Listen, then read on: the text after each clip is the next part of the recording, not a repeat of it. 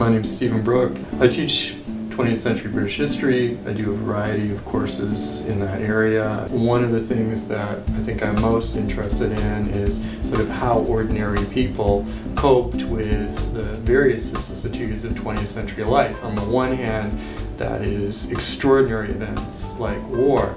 But there are more mundane things, such as the growth of television, for instance, or the emergence of the teenager in the 1950s. I teach a course, for instance, on the history of film and culture since the Second World War.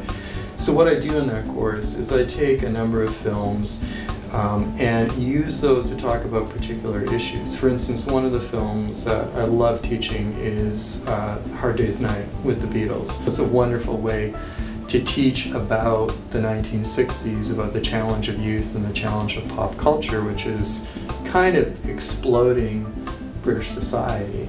In the 1980s, I used a number of comedies by people like Mike Leigh, for instance, to illustrate ideas of the new society that comes with Thatcherism. And so using different films can tell you different things about society at any one time. I think the value of a history degree is that it gets you to think critically about the world around you. In other words, you're putting things into context.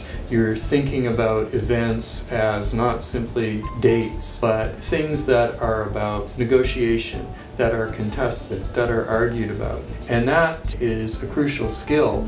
It's a crucial skill as a citizen, but it's also a crucial skill that you can bring to the workplace. I mean, people are going to ask you as a worker to think critically about things, to assess problems and suggest solutions.